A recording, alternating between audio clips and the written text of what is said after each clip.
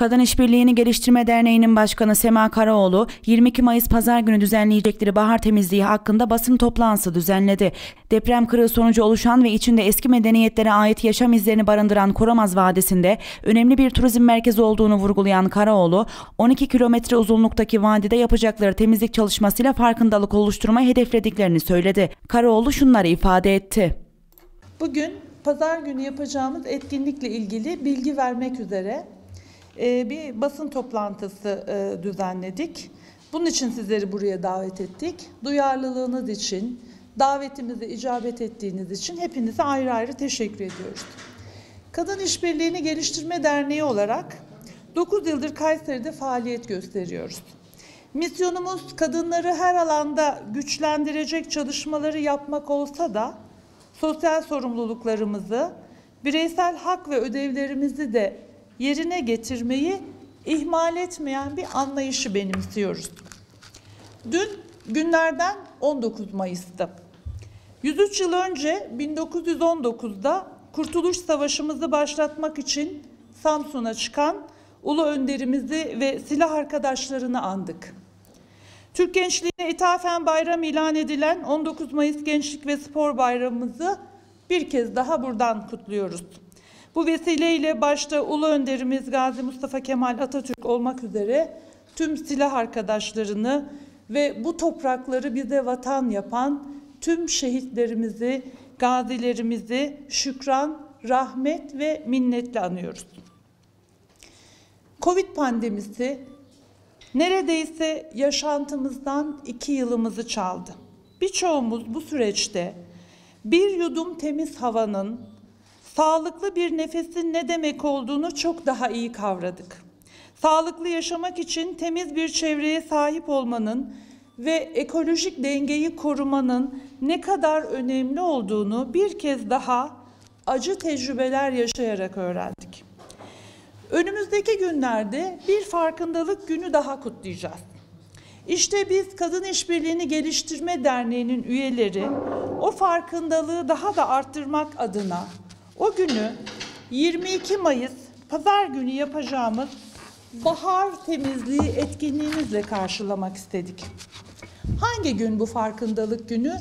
5 Haziran Dünya Çevre Günü. Atık yönetimi toplanmasından transferine, geri dönüşümüne kadar geliştirilmelidir.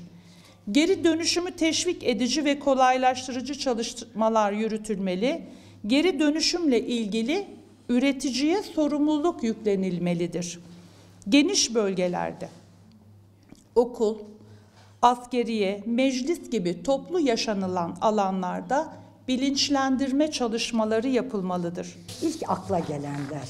Çevre kirliliğini tanımlayacak olursak çevremizdeki canlı cansız varlıkları olumsuz yönde etkileyen, onlara yapısal bozukluklar e, yapmalarına neden olan, onların niteliklerini bozan yabancı maddelere yani plastik, teneke, cam ve benzeri atık maddelerin su ve toprağa karışarak onların yapısını bozacak hale getirmesinden söz ediyoruz.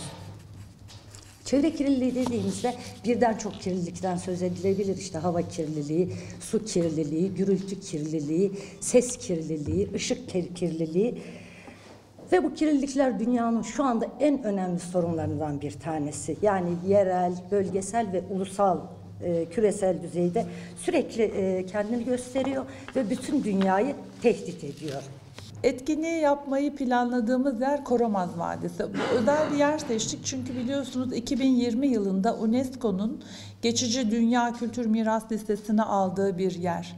E, Koramaz Vadisi bir deprem kırığı vadisi. 12 kilometrelik yedi yerleşimiyle önemli bir yer Kayseri için.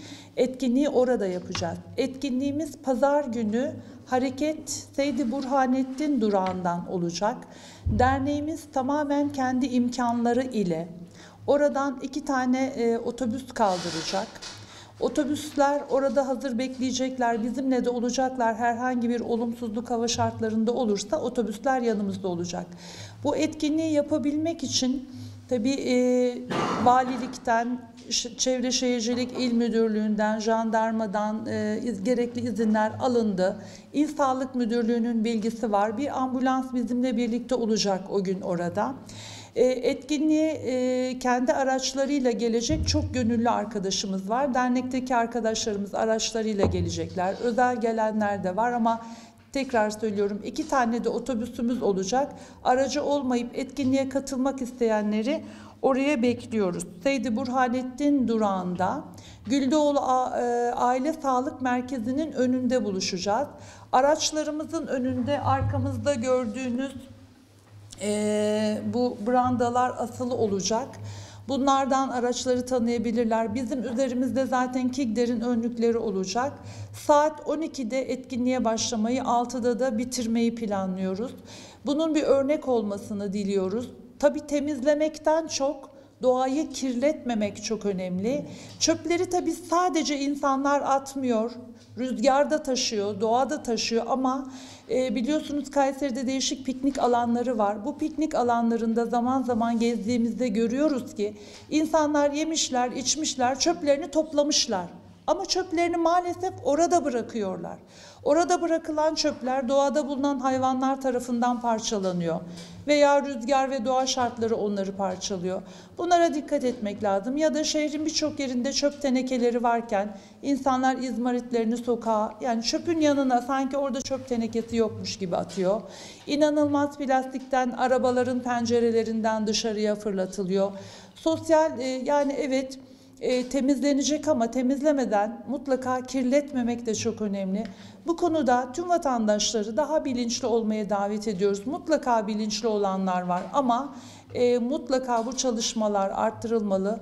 Hükümetler de eğitim çalışmalarına, bilinçlendirme çalışmalarına daha fazla destek vermeli. Bugün ben özellikle buraya gelen basın mensuplarının duyarlılığına çok çok teşekkür ediyorum. Çünkü sesimiz sadece sizler aracılığıyla duyuruluyor. Sizler çok ama çok önemlisiniz. Tekrar e, bu vesileyle teşekkür ediyor. 22 Mayıs Pazar günü saat 11'de gönüllü katılımcıları Seydi Burhanettin Durağı'na bekliyoruz.